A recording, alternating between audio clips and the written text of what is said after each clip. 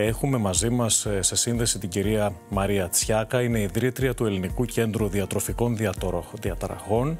Καλησπέρα σας. Καλησπέρα. Καλώς ορίσατε, ευχαριστούμε που είστε μαζί μας.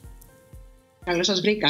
Να είστε καλά. Έρχεστε στα Τρίκαλα αύριο και θα είστε το βασικό όνομα και η ομιλήτρια και όλη η παρουσίαση είναι δική σας πάνω στο θέμα διατροφή και ψυχική υγεία από το τμήμα Διαιτολογίας και Διατροφολογίας του Πανεπιστημίου Θεσσαλίας.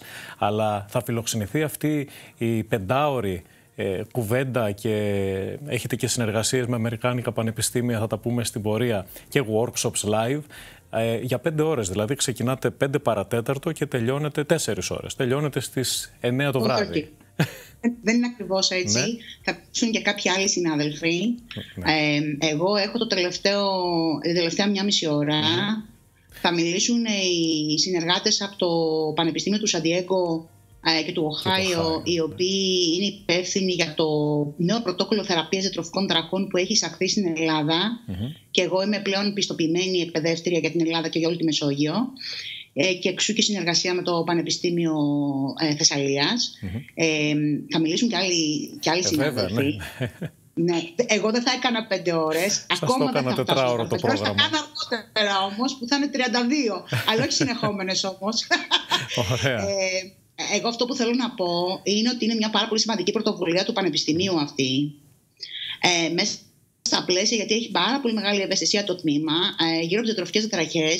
Και ε, θέλω να πω ότι ε, όλο το τμήμα είναι πάρα πολύ αξιολογή, όλοι οι συναδελφοι ε, και υποστηρίζουν πάρα πολύ και πιστεύουν ότι οι εντολόγοι θα πρέπει να εκπαιδευτούν σε νέα πρωτοποριακά πρωτόκολλα για να αναχαιτήσουν τα συμπτώματα της νόσου άμεσα και γρήγορα. Ε, και επίσης, ένα πάρα πολύ σημαντικό είναι ότι θέλουμε να προωθήσουμε τη διαπιστημονική προσέγγιση σε τροφικέ διαταραχέ. Ε, γιατί δεν μπορεί ένας μόνος του, πρέπει να είμαστε πολλοί για να αντιμετωπίσουμε τη διατροφική διαταραχή. Ε, Επίσης, θέλω να πω ότι οι άνθρωποι που θα μιλήσουν από Αμερική είναι πολύ διακριμένοι επιστήμονες ε, παγκοσμίως στον χώρο διατροφικών ε, και είναι εξαιρετικοί. Ε, οι δύο, η, η, η, η Λόρα Χιλ είναι η βασική, αν θέλετε, δημιουργός του πρωτοκόλλου για ενήλικες και θα μιλήσει και η Χριστίνα Περέγκα που είναι, είναι καθηγήτρια στο Πανεπιστήμιο ε, στο τμήμα ψυχιατρικής του σαντιεγκο που θα μιλήσει επίσης για το πρωτόκολλο που αφορά τους εφήβους και τα παιδιά. Για να κάνουμε πιο ξεκάθαρο στους τηλεθεατές που μας παρακολουθούν, τι είναι διατροφική διαταραχή. Αν βάζαμε τις τρει-τέσσερι βασικές κατηγορίες, ε, είναι αυτός που, δηλαδή να το πούμε με πιο απλά λόγια, ο ανορεξικός, η μία βασική που συναντάμε συχνά; Το φάσμα είναι πάρα πολύ μεγάλο, πάρα πολύ μεγάλο. αλλά το, αυτό που γνωρίζει ο κόσμος είναι η ανορεξία. Ανορεξία. Α, είναι η βουλημία, είναι οι άνθρωποι που προκαλούν με τους κάνουν πολύ μεγάλη άσκηση και είναι και διφαγική διαταραχή, η οποία είναι πάρα πολύ συχνή. Κάνουν οι άνθρωποι πολλά υπερφαγικά επεισόδια και πέφτουν σε πολλούς κύκλους δίαιτας. Αλλά θέλω να πω κάτι το οποίο είναι πολύ σημαντικό για να το έχει απλά ο κόσμος υπόψη του. Ότι οι διατροφικές διαταραχέ κινούνται σε έναν άξονα. Ο άξονας είναι ε, οι σκέψει πάρα πολύ σώμα και η διατροφή, πολύ αντική εικόνα σώματος και χρησιμοποιούν πάρα πολλές συμπεριφορές ελέγχου. Όμως, η βάση αυτής της ασθένειας είναι εγκεφαλικά προσδιοριζόμενη. Επηρεάζεται πάρα πολύ ο εγκεφαλός και τα νευρονικά κυκλώματα. Όπως επίσης είναι μια γονιδιακή νόσος, δηλαδή είναι αλληλεπίδραση γονιδίων και περιβάλλοντος. Δεν είναι δηλαδή μια καθαρό ψυχολογική νόσος. Και γι' αυτό ακριβώς θέλουμε να τονίσουμε σε όσοι έρθουν στα Τρίκαλα να παρακολουθήσουν την ημερίδα από την κοινότητα γενικά ε, της Θεσσαλίας αυτό που θέλουμε να τονίσουμε είναι ότι οι ασθενείς αυτοί μόνοι τους δεν μπορούν να βγουν από το την νόσο εξαιτίας των σοβαρών θεμάτων που υπάρχουν σε επίπεδο νευροβιολογίας. Ε, οπότε με απλούς τρόπους θα προσπαθήσουμε πάρα πολύ απλό τρόπο να πω βασικά πράγματα όπως και θα κάνω ένα, ένα workshop, μια live αν θέλετε βιωματική που θα δείξουμε ακριβώς τι συμβαίνει ε, στον εγκέφαλο και πώς αντιδρά ε, ο ασθενής όταν καλείται μόνος του να αντιμετωπίσει την νόσο. Να διευκρινίσουμε ότι η ημερίδα γίνεται αύριο στο Μουσείο Τσιτσάνη, στο κέντρο ερευνών. Ε, Όπως σας είπα, από τις 5 παρατέταρτο μέχρι τις 9. Υπάρχει και μέσω WebEx Live ε, συμμετοχή όποιον θέλουν. Είναι ελεύθερη η είσοδος και στην Ιντερνετική εφαρμογή αλλά και στο Μουσείο Τσιτσάνη. Και αυτό είναι πολύ σημαντικό να το ξέρουμε. Και κάνατε και μόνοι σας τώρα, άκουσα ένα ανοιχτό κάλεσμα, όχι αποκλειστικά μόνο στην ε, ε κοινότητα των ιατρών και των ειδικών αλλά μπορεί και οποιοδήποτε ενδιαφερόμενος να έρθει και να παρακολουθήσει και να συμμετέχει. Προφανώς. Γιατί μπορεί να, να θέλουν να έρθουν γονείς, να έρθουν εκπαιδευτικοί. Αφορά όλους αυτό. Είναι ένα θέμα πάρα πολύ σοβαρό, αφορά mm-hmm. την κοινότητα. Δεν αφορά μόνο την επιστημονική. Επιστημονική καλείται να, να δώσει λύσεις και να διαχειριστεί. Αλλά αυτοί οι οποίοι θα επικοινωνήσουν το πρόβλημα και θα πρέπει να λάβουν τη λύση, στην ουσία είναι όλοι οι υπόλοιποι. Άρα είναι ανοιχτό κάλεσμα προς όλη την κοινότητα. Θα χαρούμε πάρα πολύ να είστε εκεί. Ε, δεν είναι πάρα πολύ μακριά τα τερικά Καθόλου, καθόλου. 30 λεπτά, δεν είναι τίποτα. Είναι μόλις 30 με φυσιολογικές ταχύτητες. Ε, να σας ρωτήσω τώρα το πρωτόκολλο TBT Παύλα S, που ναι. παρουσιάζεται, ε, πώς μπορεί να εξηγηθεί με λίγα λόγια; Με λίγα λόγια είναι πόσο ο εγκέφαλος επηρεάζεται όταν κάποιος υποστηστεί και πώς τα ιδιοσυγκρασιακά του καθένα μας, δηλαδή της προσωπικότητάς μας, τελειομανία, άγχος, αποφεκτικότητα, παρόρμηση, υψηλές επιδόσεις στα μαθήματα, ε, στα αθλήματα κτλ. Όταν κάποιος νοσήσει, πώς μπορεί αυτά τα ωραία χαρακτηριστικά μπορεί να γίνουν αρνητικά και να προωθήσουν την νόσο. Ε, γιατί αυτό που λέει το, το, το πρωτόκολλο αυτό είναι ότι νοσείς γιατί αυτά τα δοσικασιακά σου εκφράζονται με αρνητικό καταστροφικό τρόπο. Άρα, ο στόχος είναι να κατευθύνουμε αυτά τα δοσικρασιακά πάλι προς μια θετική κατεύθυνση. Άρα, θεραπεύουμε τα δοσυγκρασιακά του ασθενούς και έτσι μειώνονται τα συμπτώματα. Μειώνονται, δεν δηλαδή, εξαλείφονται. Όχι, ε, τα συμπτώματα εξαλείφονται. Τα συμπτώματα, αλλά πολλά προκύπτουν γονιδιακά, είναι ε, μέρος του, του ατόμου που θέλετε εννοείται με τον τρόπο σας μέσω εγκεφάλου να τον οδηγήσετε σε καλύτερη αντιμετώπιση; Ναι, θα σας πω κάτι. Ένα, θα φέρω ένα πολύ απλό ναι. παράδειγμα. Κάποιος που είναι παρορμητικός, όταν αυτό είναι παραγωγικό, Μπορεί να έχει νέες ιδέες, να είναι δημιουργικό. Σωστά. Σωστά. Σωστά. Όταν κάποιος υποστηστεί, η παρόρμηση εκφράζεται με υπερφαγικά επεισόδια. Ναι. Το, το καταλαβαίνετε; Θα σας φέρω ένα άλλο παράδειγμα. ε, ένα κορίτσι που έχει νοεξία μπορεί να είναι τελειομανιακό. Πάντα οι γονείς λένε: Είχα το τέλειο παιδί. Τυπική, εξαιρετική μαθήτρια κτλ. Αυτό το παιδί θα έχει μια τέλεια νορεξία. Η οποία θα είναι τυπική, ε, θα, είναι συνε... θα είναι ανορεξία όμως. Δηλαδή όλα τα συμπτώματα της ανορεξίας θα εκφράζονται με τον ίδιο τρόπο που εκφραζόταν η ζωή της πριν. Άρα, ο στόχος μέσα στη θεραπεία αυτού του πρωτοκόλλου είναι να στρέψουμε, με τη βοήθεια πάντα της οικογένειας, είναι, η εμπλοκή της οικογένειας είναι ε, καθοριστική. Βοηθάμε τον ασθενή να μετακινήσει, είναι η ίδια εκφρασή του, την τελειομανία του, να την κάνει με τέλεια ανάρρωση. Την παρόρμησή του να την κάνει κάτι επικοδομητικό και να στραφεί υπέρ της ανάρρωσης. Καταλαβαίνετε. Προσπαθώ να το πούμε όσο πιο τρόπο. Ναι. Ελπίζω να είναι κατανοητός. Προσπαθώντας και εγώ να διαβάσω περισσότερα για αυτό και είναι πολύ απλό. Μπορεί κάποιος να το καταλάβει και χωρίς απαραίτητα να βρίσκεται σε αυτό το στάδιο. Μπορεί να είναι ένα μέλος της οικογένειάς του ή ο ίδιος να έχει βρεθεί ή να ε, προφυλάσσεται για το μέλλον. Ε, όσο περνούν και οι δεκαετίες, αλλάζουν συνεχώς ε, οι καταστάσεις στον τρόπο που λειτουργούμε και, και εγκεφαλικά πώς σκεφτόμαστε και φυλάμε τον εαυτό μας. Τον προσέχουμε περισσότερο ίσως όσο μεγαλώνουμε, έτσι δεν είναι. Αλλά θέλω να καταλήξω στο ότι φτάσατε με αυτή τη μέθοδο, με αυτό το πρωτόκολλο που παρουσιάζετε στην ημερίδα, να λέτε ότι έχετε και ερευνητικά στοιχεία να παρουσιάσετε καινούρια που βλέπετε ότι αποδίδουν. Και αυτό θα το επιβεβαιώσουν και από το Αμερικάνικο Πανεπιστήμιο.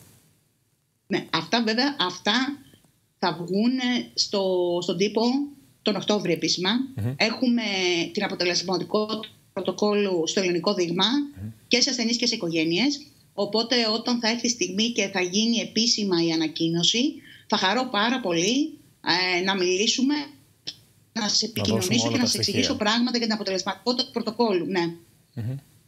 Ε, τώρα στα Τρίκαλα στο Μουσείο Τσιτσάνι αύριο κάποιος αν έρθει τι άλλο μπορεί να ακούσει και η συμμετοχή του πώς μπορεί να είναι; Δηλαδή και ε, το Πανεπιστήμιο του Οχάιο και του Σαντιέγο που θα μιλούν μαζί σας, θα συμμετέχουν στο δικό τους ε, session.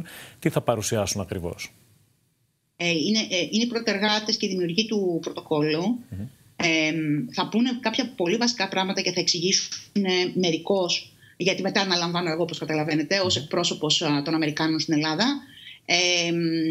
οι άνθρωποι θα μπουν μέσα από WebEx και θα τους έχουμε κοντά μας τον, τον Νοέμβριο που θα έρθουν στην Ελλάδα επίσημα και θα δοθεί κάτι πάρα πολύ σημαντικό και θα γίνει κάτι πάρα πολύ σημαντικό στην Αθήνα, ε, θα μιλήσουν και θα επικοινωνήσουν ε, το πρωτόκολλο, την αποτελεσματικότητά του έχουν δείξει πιθανόν μέχρι τώρα οι έρευνε των Αμερικάνων ε, και των Νορβηγών. Γιατί αυτό το μοντέλο αυτή τη στιγμή το δοκιμάζουν και το μετράνε στην Αμερική, ε, στην Νορβηγία και τώρα θα αρχίσουν το μετράνε και στην Αυστραλία, μια και το πρωτόκολλο αυτό έχει μπει επίσημα στο Εθνικό Σύστημα Υγείας ε, της αυστραλια Οπότε, ώστε περιομένη θεραπεία. Ε, οπότε τώρα συλλέγουμε όλες τις πληροφορίες. Είναι ένα καινούριο πρωτόκολλο, το οποίο όμως πρέπει να σας πω ότι είναι πάρα πολύ αποτελεσματικό. Εγώ είμαι πάρα πολλά χρόνια στον χώρο. Ναι. Και το βλέπετε ότι. Ε, και ίσως είναι από τα πιο αποτελεσματικά μοντέλα που έχω δει. Μακάρι. Και συνεχώς η έρευνα φέρνει αποτελέσματα και χαιρόμαστε να ακούμε ε, να παρουσιάζονται τέτοια στοιχεία. Γιατί είναι πολλοί ανάμεσά μας, πολλοί συνάνθρωποι και έχουμε γύρω μας όλα αυτά τα φαινόμενα και τα συμπτώματα που προαναφέρατε. Ε, Εσείς, ε, τέλος, θα έλεγα να ρωτήσω και ως ιδρύτρια του Ελληνικού Κέντρου Διατροφικών Διατοραχών, ε, είστε ευχαριστημένοι από την παραγωγικότητα, από τους στόχους σας, βγαίνει αυτό το έργο που θέλατε από την, ε, το ξεκίνημά σας; Έχετε πάρει μια πρωτοβουλία σημαντική. Κοιτάξτε, ε, εγώ είμαι στο χώρο 27 χρόνια. Το κέντρο ιδρύθηκε πριν 16 χρόνια. Ε, έχει περάσει από πάρα πολλές. Έχει κάνει μια μεγάλη εξέλιξη. Το κέντρο αποφάσισε και εγώ σε, σε μεγάλη ηλικία. Ε, αποφάσισα να κάνω δακτορικό σε διατροφικέ ταραχές στο King's College ε, με μια πρωτοπόρο στον χώρο των διατροφικών ταραχών, ε, την προφέσου Ζωνε Τρέζουρ. Ε, αυτή η συνεργασία μαζί της μέσα από το δακτορικό με βοήθησε πάρα πολύ ε, να ανοίξω πράγματα, να φέρω καινούριε πρωτοπόρες θεραπείες στον χώρο διατροφικών τραχών. Ε, και αμέσως μετά γνωρίζω τη Ρόρα Χιλ, όπου είμαι σε απόλυτη συνεργασία μαζί της από το 2017 ε, και εφαρμόζω το πρωτόκολλο του, των Αμερικανών από το 2017 σε συνδυασμό με κάποια πρωτόκολλα της Πανεπιστημιακής Κλινικής του Λονδίνου και της καθηγήτριάς μου. αυτό το, αυτά τα συνδυαστικά πρωτόκολλα που κάνουμε ε, έχουν πάρα πολύ καλή αποτελεσματικότητα ακόμα και σε ανθρώπους που είναι χρόνοι. Ε, και αυτό είναι πάρα πολύ σημαντικό γιατί η ανάρρωση δεν έχει χρόνο, δεν έχει ηλικία, δεν έχει φύλλο. Και πρέπει να σας πω ότι μετά το lockdown που ε, διπλασιάστηκαν τα ποσοστά και τα αιτήματα γύρω από τις διατροφικές τετραχές, τουλάχιστον στο κέντρο μας αλλά και παγκοσμίως έχει τριπλασιαστεί όλο αυτό, η αναγκαιότητα για άμεση παρέμβαση ε, γρήγορη α, ανάρρωση εντός αγωγικών, ε, αλλά με σωστή εμπλοκή της οικογένειας. Δυστυχώς στην Ελλάδα οι, οι περισσότεροι που χρησιμοποιούν παλαιωμένα πρωτόκολλα διατροφικών τραχών, και αυτό είναι ένα πρόβλημα, ε, γιατί είναι σαν να έχεις καρκίνο ε, και δίνουμε ασπιρίνε ε, σε ένα επίπεδο ε, και χωρίς την εμπλοκή της οικογένειας, όπου πλέον τα νέα μοντέλα εμπλέκουν την οικογένεια ε, μόνο τότε έχουμε ε, καθοριστική αλλαγή ε, στην άρση των συμπτωμάτων και στην εξέλιξη και στην ανάρρωση των ασθενών. Σας το λέω, εγώ είμαι, είμαι, είμαι πολύ υπέρ της οικογένειας. Είμαι και οικογένεια βέβαια. Αλλά ε, χωρίς την οικογένεια δεν μπορεί να δουλέψεις τίποτα. Είναι πάρα πολύ βασικό αυτό και αυτό θα το δείξω κιόλας μέσα από τη βιωματική άσκηση. Ότι χωρίς το υποστηρικτικό δίκτυο ο ασθενής δεν μπορεί να γίνει καλά ό,τι και αν λέει, όπως και αν λέει. Άρα δεν είναι μόνο να ορίζει τον εγκέφαλό του και να αρχίσει να μιλά στον εαυτό του, και η οικογένεια παίζει πάρα πολύ μεγάλο ρόλο και το έχετε διαπιστώσει από αποτελέσματα των ερευνών που κάνετε πάνω σε αυτή τη μέθοδο. Αυτό μου λέτε. Ναι, κοιτάξτε να δείτε. Κανένας δεν μπορεί να ορίσει τον εγκέφαλό του όταν ο εγκέφαλός του νοσεί από διατροφική τετραχή. Mm-hmm. Πρώτον, γιατί υπάρχουν διαφοροποίησεις στα νευρονικά κυκλώματα. Δηλαδή, ο δικός μου δικός σας εγκέφαλος σε σχέση με έναν ασθενή που πάσχει από οποιοδήποτε, ε, κυρίως από ανορεξία και βουλημία, δεν λειτουργεί με τον ίδιο τρόπο. Δηλαδή, θα οι ασθενείς πιστεύουμε ότι αρνούνται να φάνε γιατί ενώ πεινάνε, αρνούνται να φάνε. Στην ορεξία. Αυτό πιστεύουμε. Ναι. Εσείς τι πιστεύετε, ας πούμε. Ακριβώς αυτό. ε, ε, ερμηνεύουμε διαφορετικά τα πράγματα. Είναι αυτό που λέμε ότι κοιτάμε τον καθρέφτη και βλέπουμε κάτι άλλο και σκεφτόμαστε κάτι άλλο για αυτό που βλέπουμε. Μπράβο, προσέξτε τώρα γιατί μιλάμε για τον καθρέφτη. Έρευνες δείχνουν ότι οι ασθενείς βλέπουν τον εαυτό τους πιο παχύ από ό,τι είναι στην πραγματικότητα, ενώ είναι σκελετωμένος και οι οικογένειες ανησυχούν και λένε: Πώς έχεις γίνει έτσι. Yeah. Είναι γιατί υπάρχει μια υπερδιέγερση σε μια συγκεκριμένη περιοχή του εγκεφάλου που λέγεται βρευματικό λογός. Αυτός λοιπόν, σε εμάς και σε, σε μένα και σε εσάς, τι κάνει; Μας δίνει τη δυνατότητα να αντιληφθούμε το σώμα μας μέσα στο χώρο. Και όταν βλέπουμε τον εαυτό μας στον καθρέφτη, τον βλέπουμε όπως είναι πραγματικά. Εκείνες δεν μπορούν να το δούνε γιατί είναι σε συγκεκριμένο σημείο. Άρα έχουμε μια νευροβιολογική αλλαγή. Δηλαδή, πολύ ωραία είναι όλα τα ερμηνεύουμε σε επίπεδο ψυχολογίας και μπορούμε να πούμε χιλιάδες πράγματα. Αλλά ξέρετε, α, οι, οι έρευνες δίνουν κάτι εντελώς διαφορετικό. Ή ότι στην ανορεξία γιατί δεν τρώνε, γιατί δεν τους αρέσει το φαγητό. Τους αρέσει το φαγητό. Δεν τους αρέσει πάντα το φαγητό. Υπάρχουν ασθενείς που ε, δεν παίρνουν επιβεβαίωση εγκεφαλικά από την τροφή, ενώ εγώ και εσείς μπορούμε να μας αρέσει το φαγητό και λέμε τι ωραία. Σε αυτούς δεν ισχύει. Θα τα εξηγήσω αύριο αυτά. Γιατί θα δείξω πώς λειτουργεί ένας φυσιολογικός εγκέφαλος σε σχέση με την, με, με την τροφή, πώς λειτουργεί ένας εγκέφαλος που έχει ανορεξία και πώς λειτουργεί ένας εγκέφαλος που έχει βουλμία.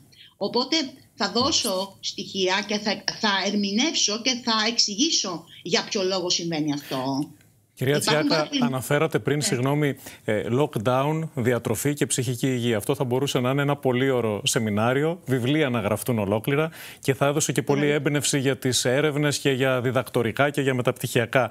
Ε, επειδή μας τελείωσε ο χρόνος, να υπενθυμίσω στον κόσμο που μας βλέπει ότι αύριο το απόγευμα από τις 5 παρατέταρτο μέχρι τις 9 θα είστε ε, για την εκδήλωση αυτή διατροφή και ψυχική υγεία στα Τρίκαλα, στο κέντρο έρευνας Μουσείου Τσιτσάνη.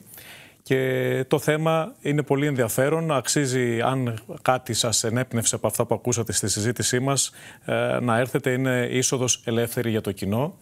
Και για επίλογο, τι θα θέλατε να πούμε; Ότι υπάρχει ελπίδα. και ότι όλοι μαζί μπορούμε να τα καταφέρουμε. Κανένας μόνος του. Όλα δουλεύουν μέσα από τη σύνδεση.